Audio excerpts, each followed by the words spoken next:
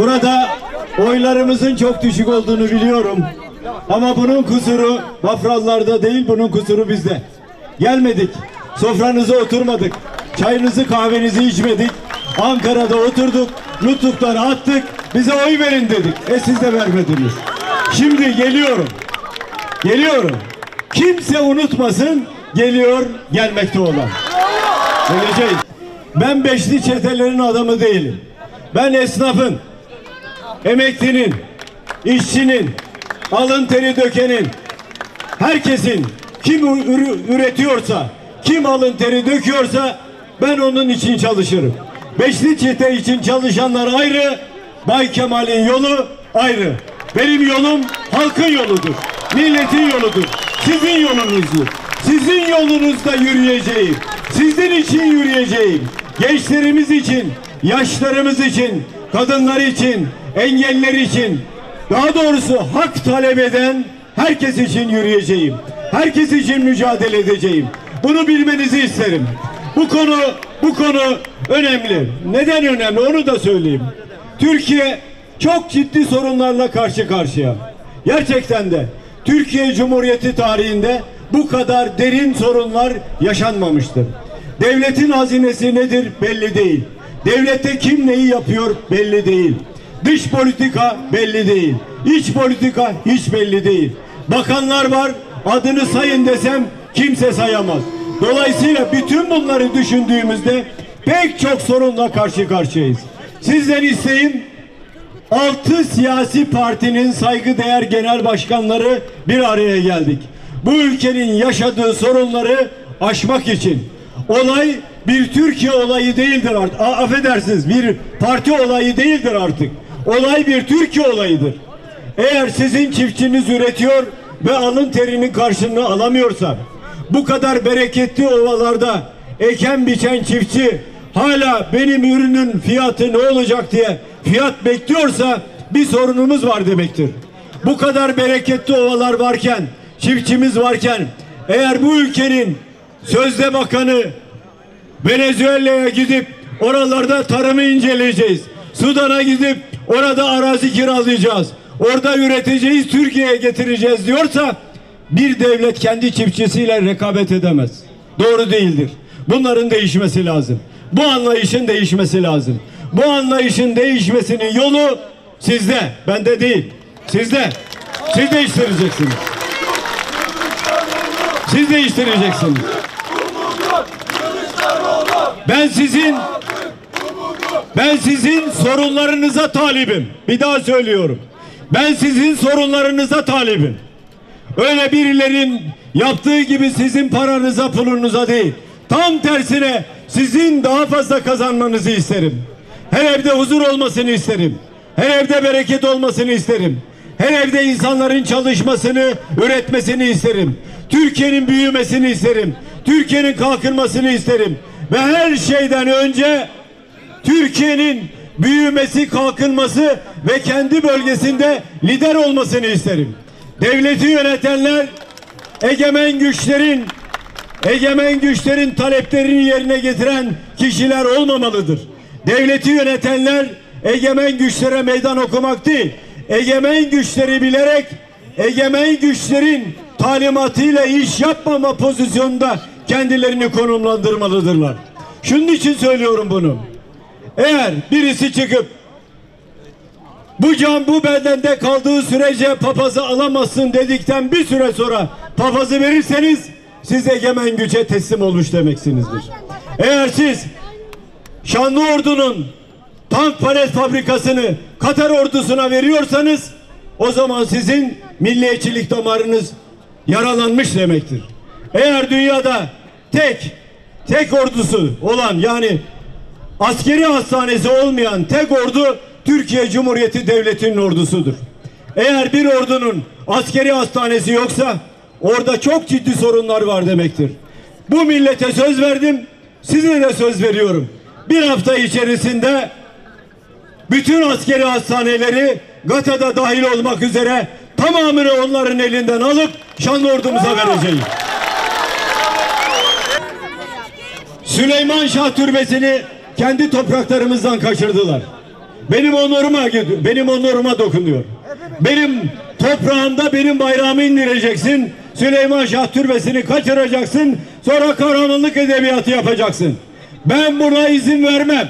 Allah'ın izniyle ve sizlerin oylarıyla iktidar olduğumuzda bir hafta içinde Süleyman Şah Türbesi'ni yeniden o topraklara götüreceğim. Bayrağımızı orada dalgalandıracağım. Bizim milliyetçiliğimiz sözde milliyetçilik değildir. Bizim milliyetçiliğimiz vatanseverliktir. Bizim milliyetçiliğimizi öğrenmek isteyen rahmetli Ecevit'e bakacak. Rahmetli Ecevit bizim milliyetçiliğimizi Akdeniz'in dalgalarına yazdı. Kıbrıs'a yazdı bizim milliyetçiliğimizi. Dolayısıyla biz kendi ülkemizde 85 milyon bir olarak kavga etmeden, ayrışmadan, kamplaşmadan bir arada yaşamak zorundayız. Bir arada ülkemizi büyütmek zorundayız. Birileri köşeyi dönüyor biliyorum. Birileri büyük paralar kazanıyor biliyorum. Birilerine büyük teminatlar, büyük gelirler verildiğini biliyorum. Birilerine büyük hazine garantileri verildiğini çok iyi biliyorum. Onların adının beşli çete olduğunu da biliyorum. Ama Bafralıların önünde söz veriyorum. Sizden çalınan her kuruşun hesabını onlardan alacağım, bu millete vereceğim. Şimdi onlar Şimdi onlar araya adamlar koyuyorlar. Acaba Kılıçdaroğlu ile görüşsek acaba ne olacak diye. Buradan söylüyorum. Milletten çalınan paranın tamamını alacağım ve millete vereceğim. Benimle görüşmenize gerek yok. Yine yine efendim burada vakıf kuruyorsun. Amerika'da vakıf kuruyorsun. Buradan milyon dolarları oraya götürüyorsun. Burada oğlun var, orada kızın var. Malı götüreceksin, milyon dolarları götüreceksin. Bay Kemal seyredecek. Yemezler. O paranın tamamını getireceğim.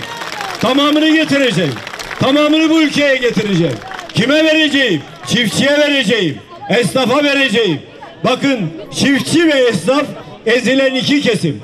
Ya çiftçi üretmezse 85 milyon aç kalacak. Buğday dışarıdan, mercimek dışarıdan, pirinç dışarıdan, gübre dışarıdan, et dışarıdan, canlı hayvan dışarıdan. Ya her şey dışarıdan ya. Ne oluyoruz biz? Ne oluyoruz? Türkiye nereye gidiyor? Bunun mücadelesini veriyorum. Tamamını bizim insanımız üretecek, tamamını bizim insanımız kazanacak. O zaman göreceksiniz ki Türkiye nasıl büyüyor. Az önce Çeltik tarlasına gittik. Sordum. Emin olun o tarlaya bakınca insanın içi ferahlıyor. Yemyeşil güzel bir ova. Bakıyorsunuz. Çeltik tarlaları uzanmış orada. Sordum kaça bunun maliyeti seni kurtarır diye. Ne kadar olur? Seneyi de düşünerek uzun tanede 20 lira, orta tanede 18 lira olması lazım dedi. Şimdi ben Çeltik üreticisinin sesi olarak bu devleti yönetenlere sesleniyorum. Sizden istenen büyük bir para değil. Siz mazota yüzde 300-400 zam yaptınız. Siz gübreye yüzde 400, 500, 600 zam yaptınız.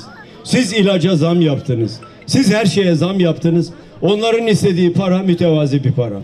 Büyük bir para değil. Dışarıdan ithal ediyorsun.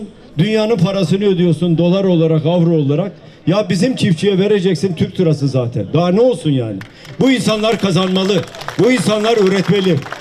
En tehlikeli şey en tehlikeli şey çiftçiyi toprağa küstürmek.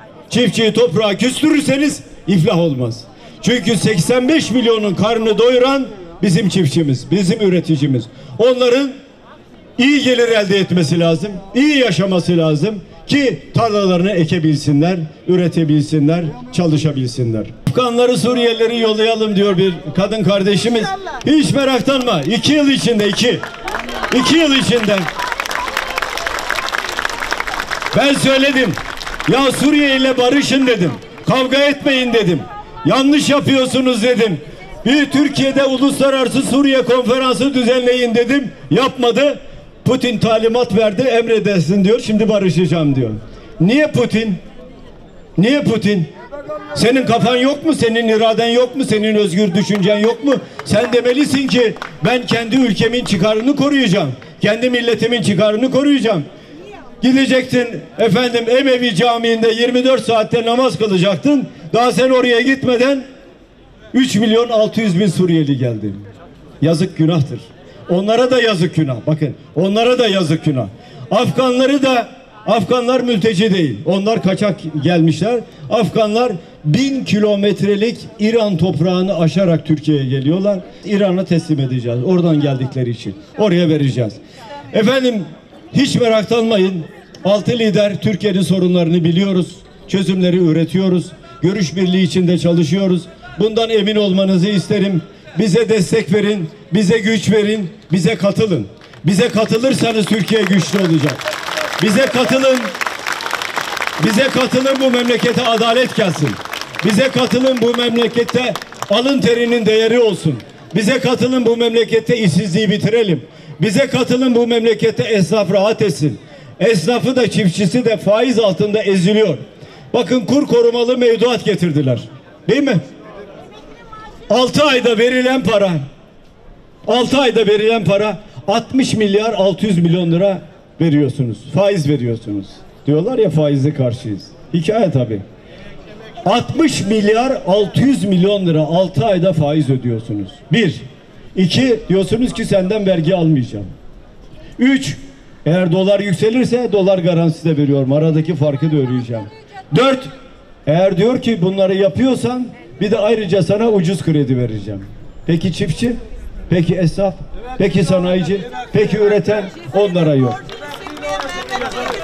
Emekli hiç meraklanma. Hepsini düzelteceğiz. Vallahi de billahi de düzelteceğiz. Vallahi de billahi de. Neden biliyor musun? Siyaset zenginleşme aracı değildir. Siyaset. Siyasete girdiğim gün mal varlığımı internet siteme koydum. Benim mal varlığım budur. Siyasette zenginleşme olmaz. Birisi zenginleşiyorsa bilin ki malı götürüyor. Birisi malı götürüyorsa bu kardeşinize haber vereceksiniz. Yakalayacağız. Hiç endişe etmeyin. Efendim Başkanım kadar? Efendim hepinize en içten sevgilerimi, saygılarımı sunuyorum. Sağ olun, var olun diyorum. Bütün Bafra'yı kucaklıyorum. Bafralılara selam, saygı sunuyorum. Laf aramızda Bafra'nın pidesini de biliyorum. Eyvallah. Hoşçakalın efendim. Sağ olun.